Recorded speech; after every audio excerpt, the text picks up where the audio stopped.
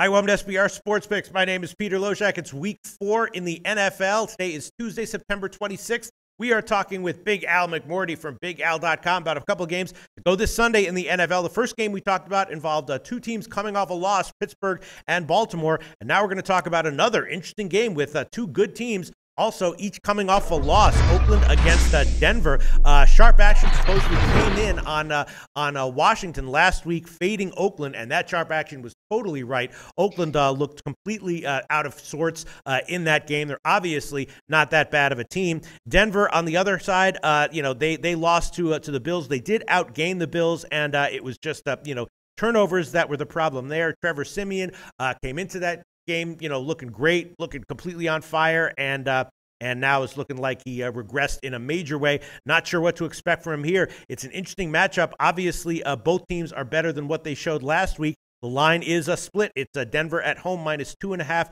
or three. Who do you like more to bounce back here, Al?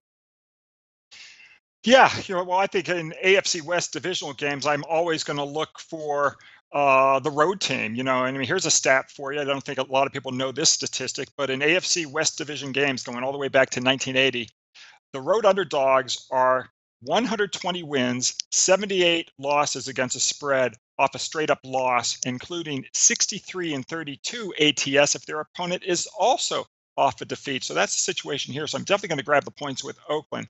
The other interesting thing to note is that 666 win percentage teams were better. They've cashed 61% since 1980 as road underdogs off a loss by 14 or more points. So I think this is a really good bounce back situation for Oakland.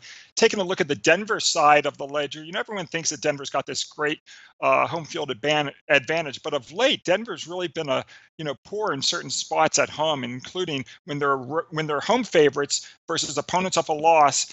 Denver is 12 and 29 ATS their last 41, including one and 10 ATS if the Broncos are off a loss themselves. So I think you're going to get value here with Oakland plus the three points. I'm going to take the points with the Raiders. All right, that sounds good. Plus three, minus 115 right now. And yeah, that jives with uh, my general sense on this game, which is just that uh, Siemian struggles from last week, I think, we're more likely to see, uh, you know, a repeat of that than we will are likely to see a repeat of uh, Oakland struggles uh, from last week as a team in general. Oakland plus three minus 115 is Al McMordie's pick for the Oakland Denver game. Interesting stuff, Al. Give a plug for your website, bigal.com. Sure, Peter. Uh, I've been in business since 1992. Folks can go to bigal.com and get four free plays every single day. Two from myself, one from Larry Ness, one from Scott Spritzer. And if you want to get our best selections, just go to the website and click on picks for sale.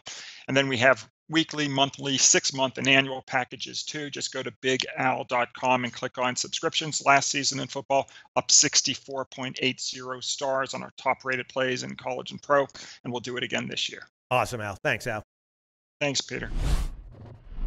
Hey guys, thanks for tuning in to our channel. Now, we've put a lot of work into producing all these free videos, so please help us out and keep all our content free for you forever by simply liking, sharing, commenting, and subscribing. Now, not to mention, a visit to our industry leading website will warm the hearts of all our SBR employees, especially myself. Now, the links are over there to the left, uh, so do check those out. Thanks for watching.